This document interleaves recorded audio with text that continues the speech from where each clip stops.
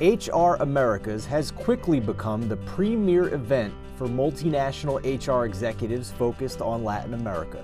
This annual event offers a unique opportunity to spend two days in meaningful conversation with veteran HR executives. We always learn from different eyes looking at the same situation. It's a different point of view and opens the possibilities of solving or addressing the problems that we face in a different way. I'm really looking forward to partnership, learn more from my colleagues.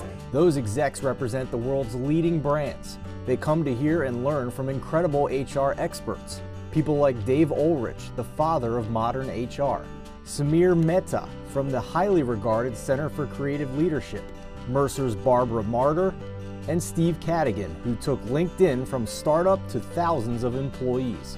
If you can benefit from being with HR executives representing the world's leading brands, call us about sponsorship opportunities.